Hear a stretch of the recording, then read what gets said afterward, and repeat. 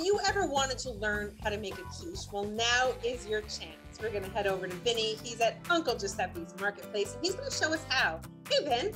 It's brunch time, baby. This is a great item to serve for brunch. We're gonna make a traditional quiche Lorraine.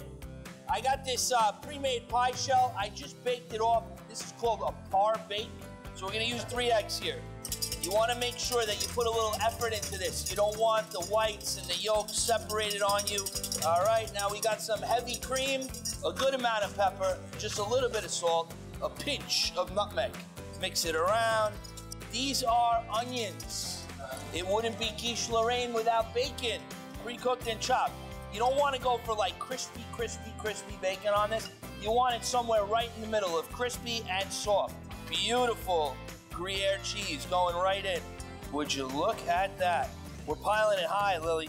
It's gonna go into a 325 degree oven. You're gonna put it in for about 25 minutes and turn it halfway.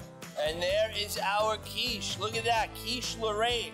Beautiful. That looks great. So listen, get your mimosas ready, invite some friends over, and make the quiche. The recipe is on news12.com. Vinny, it looks so good. Thank you.